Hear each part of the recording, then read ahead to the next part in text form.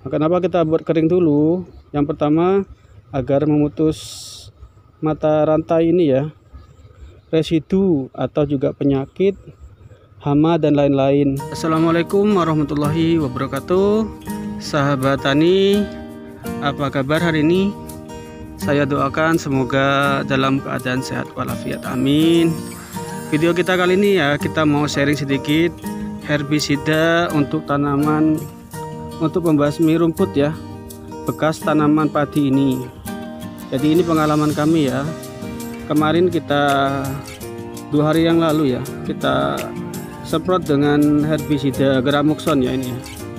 Nah, untuk rumput-rumputnya memang mati ya. Rumput-rumputnya memang mati cuman nah ini bekas-bekas tanaman padi ini masih sehat walafiat ya jadi ini pengalaman saja pengalaman ya. Jadi kalau bekas-bekas tanaman tanaman padi seperti ini jangan pakai gramuxon tapi pakailah eh, apa namanya herbisida seperti merek Roundup ya itu. Jadi untuk bekas tanaman padi ini bisa mati. Kalau pakai gramuxon tidak mati ya tidak mempan. Itu kemarin kita mau pakai rantap itu cuman harganya sekarang sampai 130 lah satu per satu liternya. Sedangkan gramoxon itu harganya uh, berapa? Kemarin 95.000 per satu liter. Jadi kita mau coba itu. Ternyata memang tidak mempan ya. Tidak mempan nah jadi kita harus memakai herbisida sistemik ya seperti randap misalnya. Baru ini bisa mati. Ini pengalaman kami saja agar sahabat tani tidak salah ya dalam apa yang melakukan penyemprotan terhadap lahan bekas tanaman padi seperti ini ya.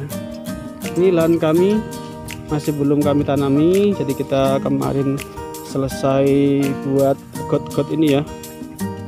Habis habis apa namanya panen kan tanahnya masih gembur itu ya. Masih basah jadi kita langsung buatkan saluran irigasi atau got seperti ini. Langsung ada pembuangan ya. Habis gitu lahan ini didiamkan dulu. Paling tidak 15 hari sampai apa kira-kira tanahnya ini mulai kering ya ada, terlihat rongga-rongga uh, tanahnya. Itu kering baru kita tanami. Nah, kenapa kita buat kering dulu? Yang pertama agar memutus mata rantai ini ya.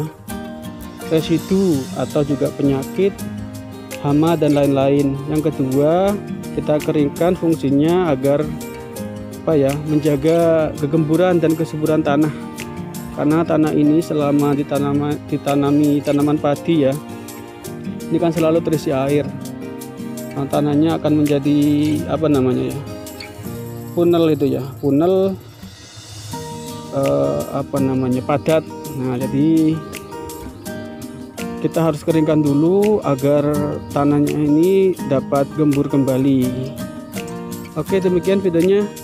Semoga bermanfaat ya pengalaman saja Terima kasih sudah menonton video ini.